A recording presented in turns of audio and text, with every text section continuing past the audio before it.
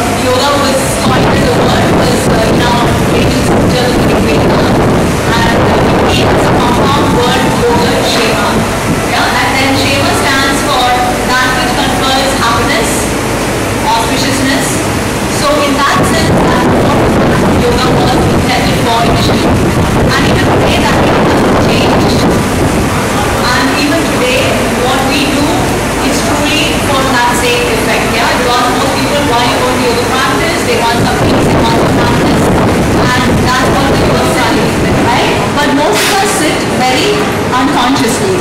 But when we bring in consciousness and when we bring in awareness, that becomes a yoga practice. So this very same sitting, if you just become aware of your sitting, sacred quality to it. Yet during my earlier days, I remember in my grandfather's uh, room, there's a special stand on which there were few fruits. And whenever I ask my mom whether I can take it, I would hush down and say, don't touch it. They are all sacred. They are yoga books. So earlier days, yoga books were given that. Bhakti Yoga, Karma Yoga, those kind of titles is where you find this term yoga. To see ourselves beyond just this name and form self. Yeah, the name my studio actually imagined beyond was point for that. The fact that yoga is not always um, like it is limited to, to just a practice that you do on the mat, right? Yoga eventually becomes a way of life. Another one is another book with lots of asanas in it, but I was actually very surprised because this is a spiritual book. It's not confined to the mat, and yoga is really the skillfulness, the awareness, and the beauty that we bring to every encounter and every experience.